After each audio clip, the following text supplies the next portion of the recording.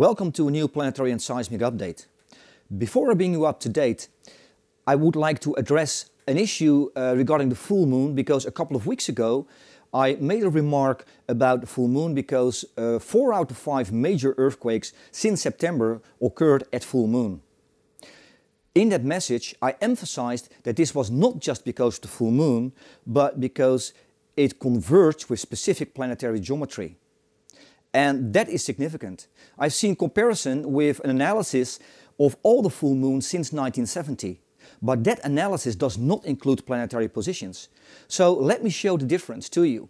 On 6 February, with the major earthquake in Turkey, it occurred at full moon, but at the same time, we saw a planetary conjunction with the Sun, Venus, and Jupiter, and Mercury, Sun, and Uranus at the same time. And that makes a major difference. We have many more examples also in the reports on the website. I'll show you just a couple more just to make um, it clear what is actually happening at full moon and large earthquakes. In 1964, a magnitude 9 earthquake occurred in Alaska. It happened not just at the full moon, but also at the time that Mars, Mercury, Venus and Uranus were in a quadruple conjunction. Very specific geometry. In 2004, also a magnitude 9 earthquake at Sumatra at the time of full moon. But at the same time, Earth was in a near conjunction with Mercury and Venus, while at the same time Venus was in a conjunction with the Sun and Mars. We can take another example that is from 2013, a magnitude 8.3 at the Sea of Okhotsk. Also at the time of full moon, and again we see that Earth was in a close conjunction with Mercury and Venus. So not every full moon is the same. There are major differences between the full moons because of the positions of the planets. So an analysis of every full moon over a number of years may be interesting to prove that there is no correlation. But if you include the planetary positions, it becomes a completely different analysis and you cannot possibly compare the two. Now with that out of the way, let us go into the forecast.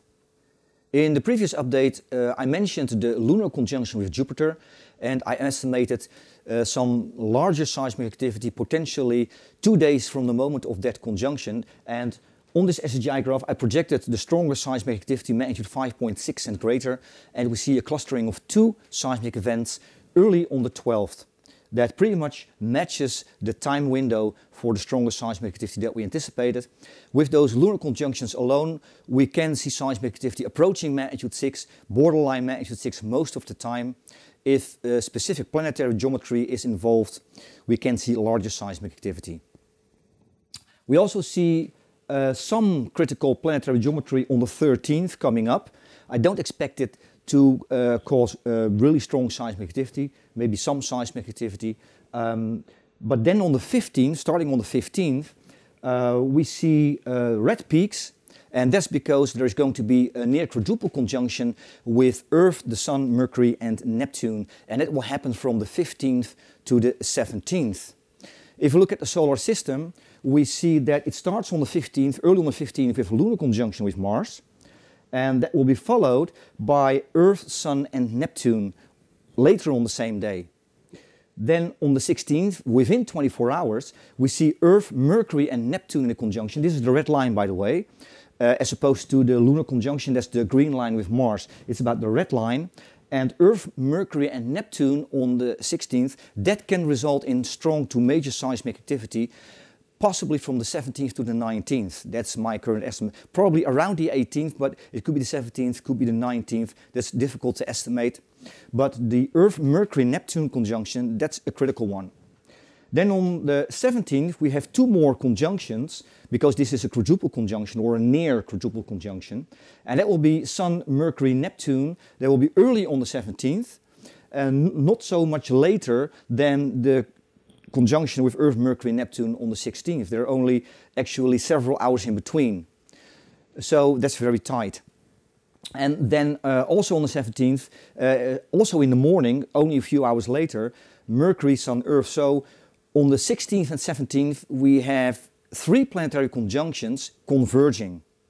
Again, that's Earth, Mercury, Neptune. That is Sun, Mercury, Neptune, and then Mercury, Sun, Earth.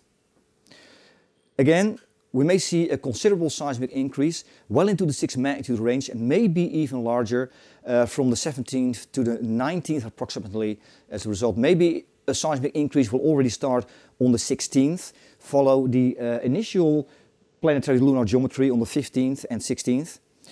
Um, but I estimate that the largest seismic activity um, most likely is going to occur around the 18th. It very much depends on the condition of Earth's crust, the amount of stress, and that's always the great variable because we cannot measure that, we cannot know that. So we have to go by the positions of the planets and the moon to estimate when the largest seismic activity is going to occur. If we look at the atmospheric fluctuations from the last couple of days, uh, we go back to the 6th and um, it looked like some fluctuations occurred around South America.